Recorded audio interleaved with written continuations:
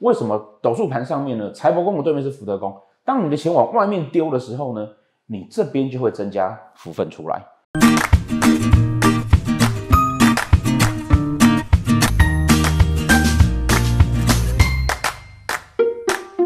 好，大家好，这个动乱二零二零年啊。即将差不多要过去了啊！那这种纷乱的年代里面啊，所有来咨询的人啊，都会很想要知道说啊，自己要怎么样度过这个纷乱的年代。我自己个人一直认为啊，哈，有一种事情啊，做起来啊是效果最好的。也许他在短时间之内看不到什么成效，但长期来说呢，哈，一定是一个最好的状况哈，就是做善事。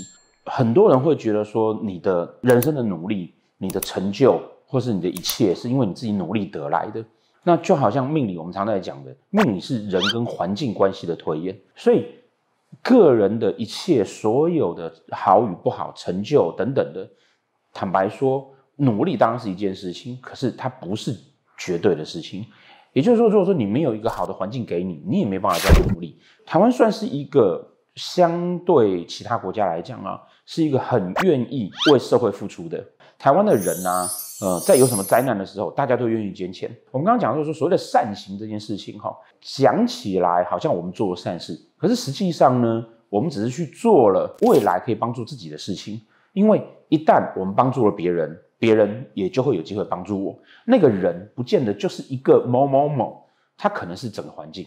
好，说为什么斗数里面的做贵相贵格，好丑未对拱的时候呢，做魁月，这个做贵相贵格，他谈的东西叫做啊。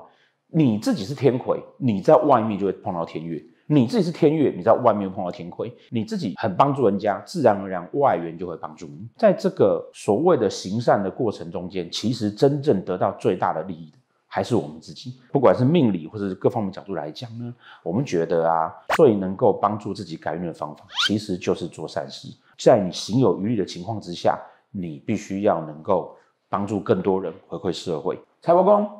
对面呢，一定是福德宫。我的钱往外面丢，捐出来往外面丢。为什么斗数盘上面呢？财帛宫的对面是福德宫。当你的钱往外面丢的时候呢，你这边就会增加福分出来。比较好的情况啊，就是要有带到路或者路存。好，那怎么样会有路路存？你说这边没有怎么办？从外面丢过来。好，这是我们在那个改运的书上面有讲过的基本的逻辑。所以往外捐钱，增加你自己的福分。你把你所得到的。再回过来，让你的环境变得更好。那你在好的环境里面，你当然自己就会更好。这是我们在命理上面啊谈啊，怎么样增进福报啊？一个最简单而且最实际的方法。你希望长时间你自己会运势很好的时候呢，你要怎么样的啊，去帮自己不断不断的添好运？那有人会问说，那老师，那捐钱到底要捐多少呢？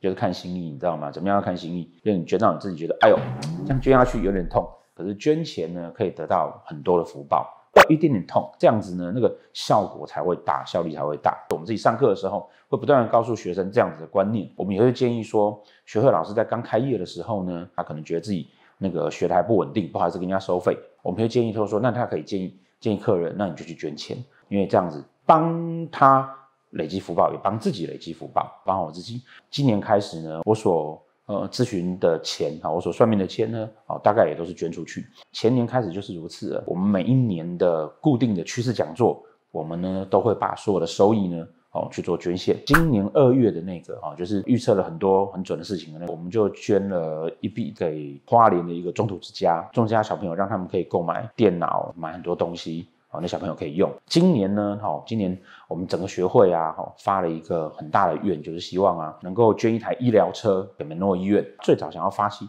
去捐救护车，但后来发现呢，除了救护车之外啊，哈，事实上在偏乡的地区啊，他们更需要是医疗车。一方面是救护车呢，捐的人很多，他在实际医疗使用上面呢也很需要。可是如果说我们可以提早的去治疗，是不是就可以不用再等？有问题的时候呢，再去跑那个救护车。花莲或台东这样的地方，他们地很大，那人很少，所以他的医院的医疗资源本来就不太足够。老人家啊，哦，他他可能住在台东的某一个山上面。如果这个老人家他突然之间有什么病痛，或者是那个病痛又不到要坐救护车，比如说感冒啦，或者是痛风发作啦，像老师我就有痛风。你今年希望可以捐助这种医疗车，也就是说呢，一台车子里面呢，它会有简单的医疗设备，那可以载着医生。好，载着护理人员去华东地区哈，定期的去关怀他们，帮助他们。啊，不是让他们呢本来身体已经行动不方便了，或者交通不方便了，还不需要大老远的跑来门诺医院看诊。今年趋势讲座所有的收益，只要收进来多少钱，我们就会全部的呢去捐助这台医疗车，然后大概两百多万。好，那如果说门票收的不够啊，实际上是一定是不够的啦。不够的部分呢，基本上我就我老师我自己个人贴，我们把它凑到齐，希望今年呢可以帮我自己，还有帮我自己的粉丝、书的读者、我的客人、学生，哦，我们可以大家一起来积福报。未来的日子啊，我们可以越过越好，越来越顺。二零二一年的趋势讲座就要开始了，那有兴趣的呢，欢迎一起来报名，好，顺便来做公益。好，谢谢大家。